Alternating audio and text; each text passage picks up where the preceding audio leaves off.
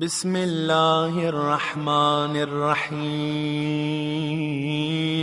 اللهم صل على محمد وآل محمد. واسمع دعائي. إذا دعوتك واسمع ندائي. إذا ناديتك وأقبل علي. إذا ناجيتك فقد هربت إليك ووقفت بين يديك مستكينا لك متضرعا إليك راجيا لما لديك ثوابي وتعلم ما في نفسي وتخبر حاجتي وتعرف ضميري ولا يخفى عليك أمر منقلبي ومثواي وما أريد أن أبدئ به من منطقي وأتفوه به من طلبتي وأرجوه لعاقبتي وقد جرت مقاديرك علي يا سيدي فيما يكون مني إلى آخر عمري من سريرتي وعلانيتي وبيدك لا بيد غيرك زيادتي ونقصي ونفعي.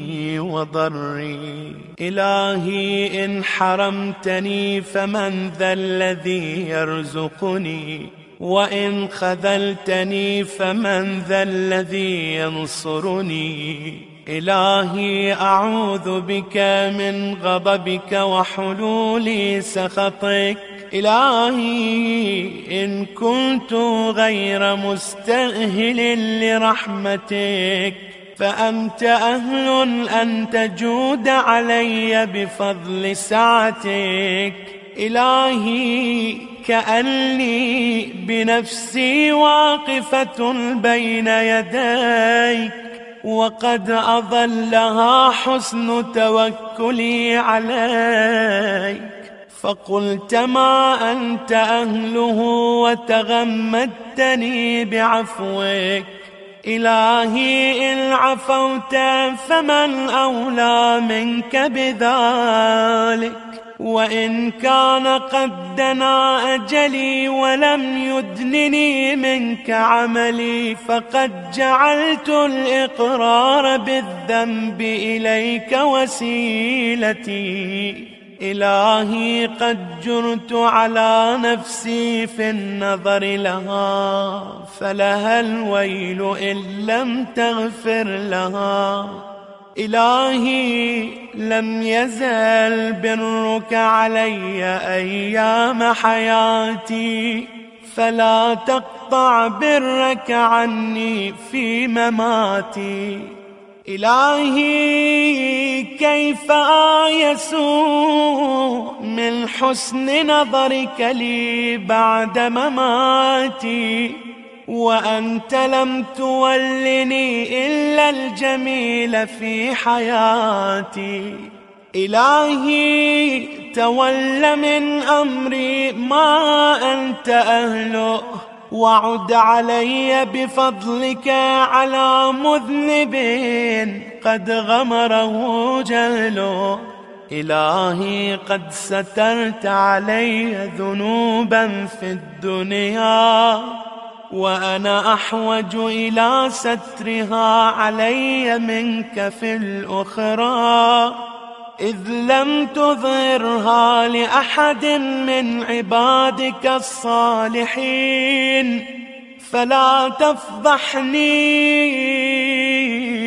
يوم القيامة على رؤوس الأشهاد. إلهي جودك بسط أملي وعفوك أفضل من عملي.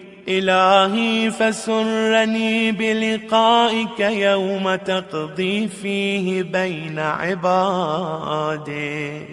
إلهي اعتذاري إليك اعتذار من لم يستغن عن قبول عذره. فاقبل عذري يا أكرم من اعتذر إليه المسيئون إلهي لا ترد حاجتي ولا تخيب طمعي ولا تقطع منك رجائي وأملي. إلهي لو أردت هواني لم تهدني ولو أردت فضيحتي لم تعافني. إلهي ما أظنك تردني في حاجة قد أفنيت عمري في طلبها منك. إلهي فلك الحمد أبدا دائما سرمدا. يزيد ولا يبيد كما تحب وترضى. إلهي إن أخذتني بجرمي أخذتك بعفوك وإن أخذتني بذنوبي أخذتك بمغفرتك وإن أدخلتني النار أعلمت أهلها أني أحبك. إلهي إن كان صغر في جنب طاعتك عملي فقد كبر في جنب رجائك أملي. إلهي كيف أنقلب من عندك بالخيبة محروما وقد كان حسن ظني بجودك أن تقلبني بالنجاة مرحوما.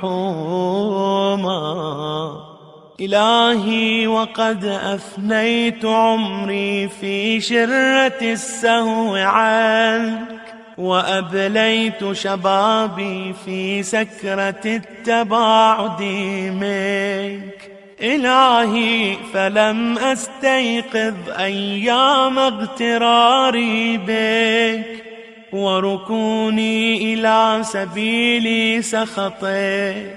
إلهي وأنا عبدك وابن عبدك قائم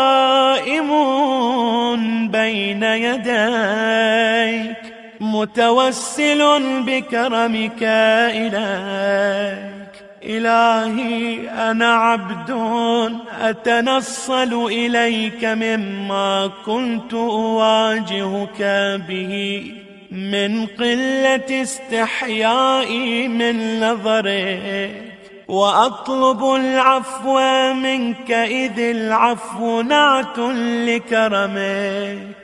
إلهي لم يكن لي حول فأنتقل به عن معصيتك إلا في وقت أيقظتني لمحبتك. وكما أردت أن أكون كنت فشكرتك بإدخالي في كرمك ولتطهير قلبي من أوساخ الغفلة عنك. إلهي انظر إلي نظر من ناديته فأجابك. واستعملته بمعونتك فأطاعك. يا قريبا لا يبعد عن المغتر به.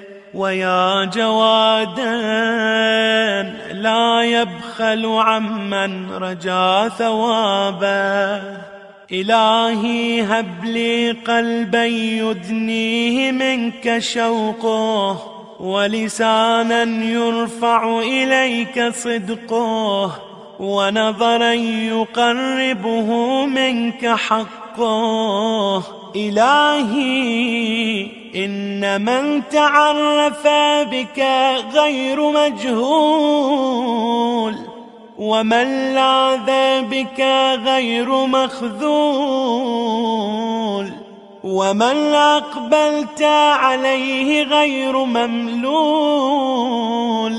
إلهي إن من انتهج بك لمستنير. وإن من اعتصم بك لمستجير وقد لذت بك يا إلهي فلا تخيب ظني من رحمتك ولا تحجبني عن رأفتك إلهي أقمني في أهل ولايتك مقام من رجى الزيادة من محبتك إلهي وألهمني ولهن بذكرك إلى ذكرك. وهمتي في روح نجاح أسمائك ومحل قدسك. إلهي بك عليك إلا ألحقتني بمحل أهل طاعتك. والمثوى الصالح من مرضاتك. فإني لا أقدر لنفسي دفعا ولا أملك لها نفعا. إلهي أنا عبدك الضعيف المذنب ومملوكك المنيب فلا تجعلني ممن صرفت عنه وجهك. وحجبه سهوه عن عفوك.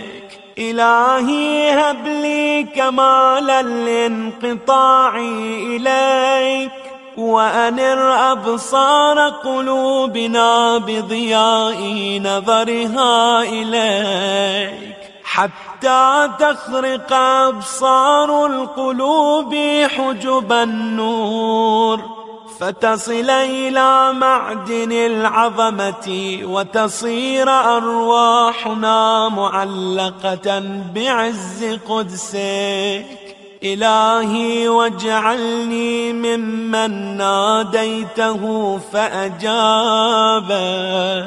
ولاحظته فصعق لجلالك.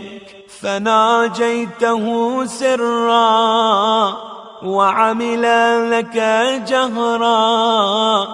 إلهي لم أسلط على حسن ظني قنوط الأياس ولا انقطع رجائي من جميل كرمك إلهي إن كانت الخطايا قد أسقطتني لديك.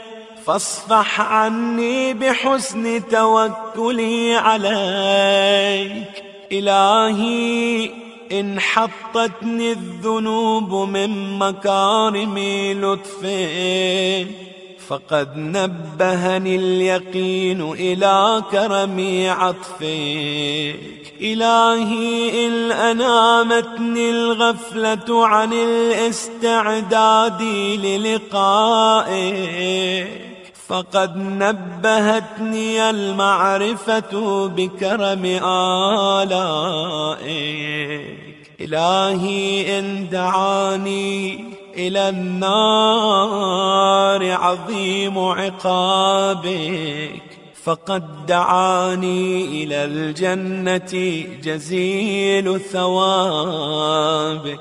إلهي فلك أسأل وإليك أبتهل وأرغب وأسألك أن تصلي على محمد وآل محمد وأن تجعلني ممن يديم ذكرك ولا ينقض عهدك ولا يغفل عن شكرك ولا يستخف بأمره إلهي وألحقني بنور عزك الأبهج فأكون لك عارفا وعن سواك منحرفا. ومنك خائفا مراقبا يا ذا الجلال والإكرام.